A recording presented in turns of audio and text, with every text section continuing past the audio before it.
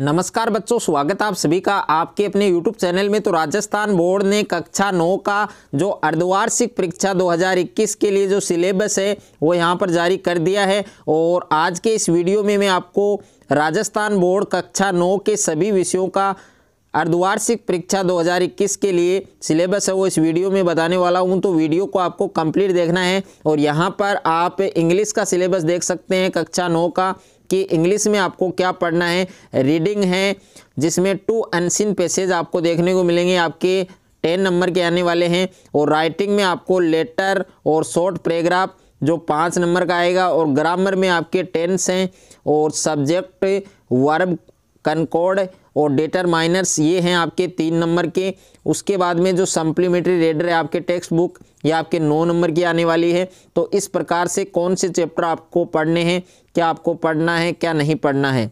तो आप देख सकते हैं। और ये आपके विज्ञान का सिलेबस है, जिसमें पहला चैप्टर हमारे आसपास के पदार्थ, ये पढ़ना है। दूसरा, क्या हमारे आसपास के पदार्थ शुद्ध है, ये भी पढ़ना है। और इकाई टू में आपको केवल एक ही चैप्टर पढ़ना है, जीवन की मौलिक इकाई। और जो इकाई तीन है आपके, इसमें आपको दो चैप्टर पढ़ने हैं, बल तथा गति के नियम और गुरुत्व आकर्षण।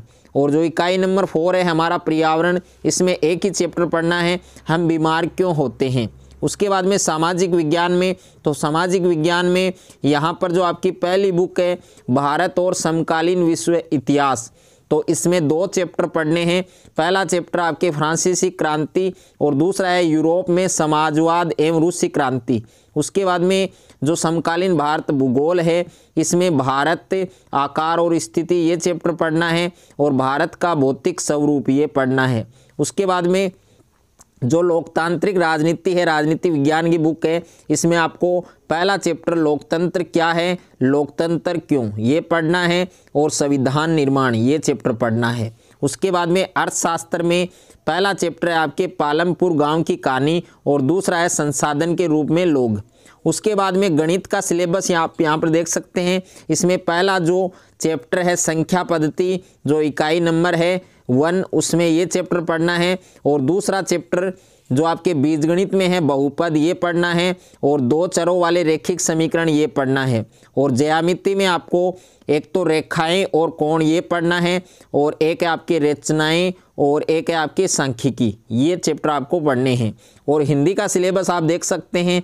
इसमें अपठित, दो अपठित साहित्य अंश आएँगे आपके और गद्यांश, काव्यांश, रचना तो ये पूरा सिलेबस यहाँ पर दे रखा है हिंदी का। हिंदी में आपको ये पढ़ना है। उसके बाद में संस्कृत का सिलेबस आप देख सकते हैं, कक्षा नौ का, जिसमें अपठित बोधनम आएगा आपके सात अंक का, रचनात्मक कार्य में आएगा बारह अंक का।